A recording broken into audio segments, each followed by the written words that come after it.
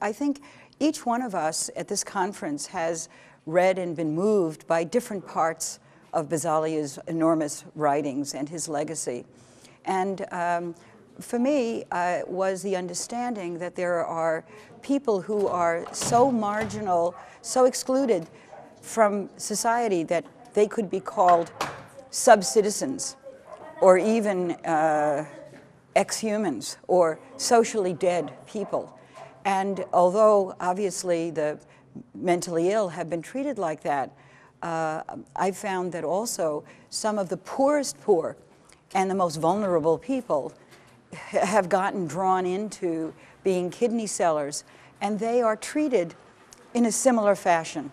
as what Agamben calls bare life, naked life, that they are simply exist to supply organs for other people.